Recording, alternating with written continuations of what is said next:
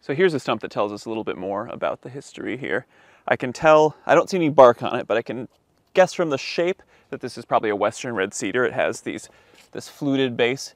Uh, the stumps that we find around here are mostly Douglas fir or western red cedar. The hemlock is not rot resistant at all. So those stumps were here at some point. Those trees were cut, but the stumps aren't here anymore. The Douglas fir, for whatever reason, a lot of the stumps around here, I can usually still find a little bit of bark down at the bottom, and I can see that typical Douglas fir texture. The reason I wanted to show you this, this stump is there's a real clear springboard cut or notch. There's one here, one here.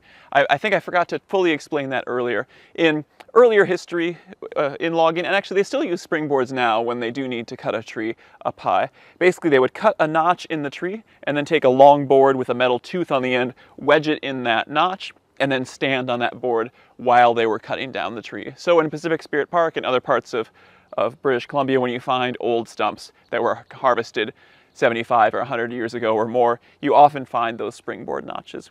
The reason that this one is kind of interesting is we can clearly see that this one is charred on the inside. So, so that tells us that this tree was harvested prior to the last fire. If, if this springboard notch was not charred on the inside and it looked like it was still intact and hadn't just rotted, rotted out, that would tell us that the tree had been harvested after the fire as salvage.